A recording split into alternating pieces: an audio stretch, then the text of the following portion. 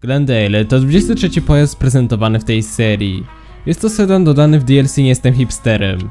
Całościowo bardziej odzorowany jest na Mercedes-Benz E-Class W123, ale reflektory odzorowane są na starszym modelu, czyli W114, a zdjęcia tych samochodów widzicie teraz na ekranie.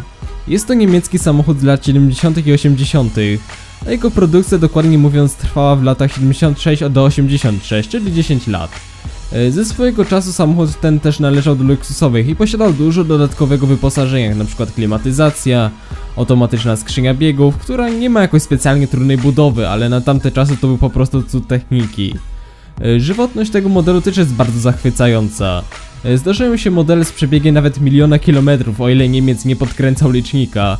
I model ten też nie posiada większych problemów technicznych. E, W roku 80 W123 był też najchętniej kupowany samochodem w Niemczech. E, Mercedesy W123 miały też swoje zastosowanie w sporcie. E, Z racji swoich predyspozycji startowały głównie w rajdach długodystansowych. Największym chyba sukcesem było zwycięstwo wyścigu modeli 280e oraz drugie, szóste i ósme miejsce w niezwykle wymagającym rajdzie między Londyn Londynem a Sydney w roku 77. E, Jeśli chodzi o naszego Glendale'a, to też można o nim mówić bardzo dużo. E, Jest to samochód, który regularnie pojawia się od GTA Vice City. E, W GTA San Andreas samochód ten należał do Big Smoke'a i miał takie biało-błękitne barwy. Ale również Glendale występował jako samochód widmo, które, który zjeżdżał z górki bez kierowcy.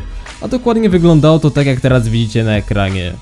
W GTA 5 samochód ten możemy znaleźć w garażach każdej z postaci oraz możemy go zakupić w trybie online za 200 tysięcy dolarów. E, Ale sprawdźmy teraz jakie ten samochód ma możliwości modyfikacji w grze. Do wyboru mamy pancerz, hamulce, zderzaki, a właściwie jeden zderzak, silnik, modyfikację wydechu, modyfikacji maski,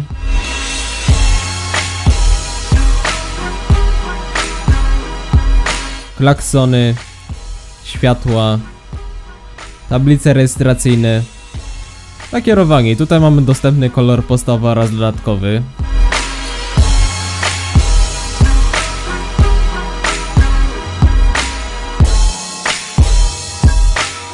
Modyfikacje dachu. Progi. Zawieszenie. Skrzynie biegów. Tutaj mamy taką ciekawą modyfikację jak bagażnik.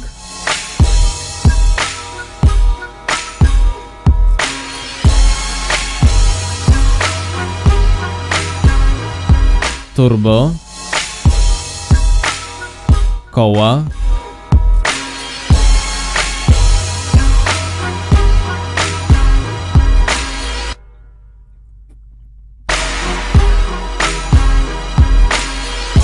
No i na sam koniec szyby.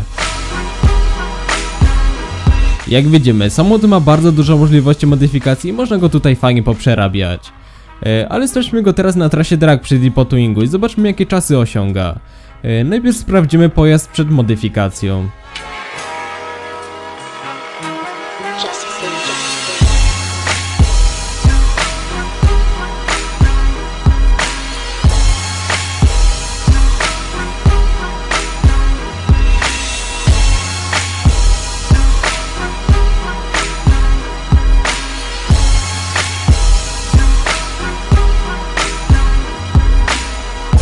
Glendale niemodyfikowany osiągnął czas 22 sekundy i 14 setnych.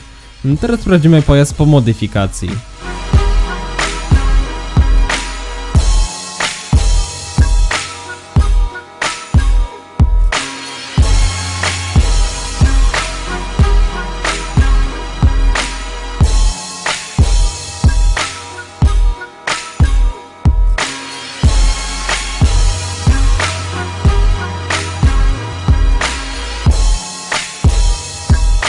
Glendale modyfikowany osiągnął czas 20 sekund i 13 setnych.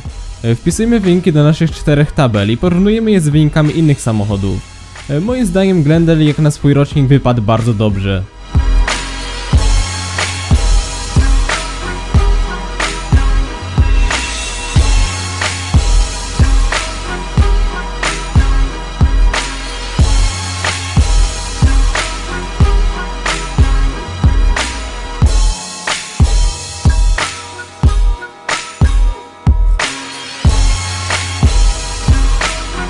Podsumowując, pierwszy plus tego pojazdu to dużo możliwości modyfikacji.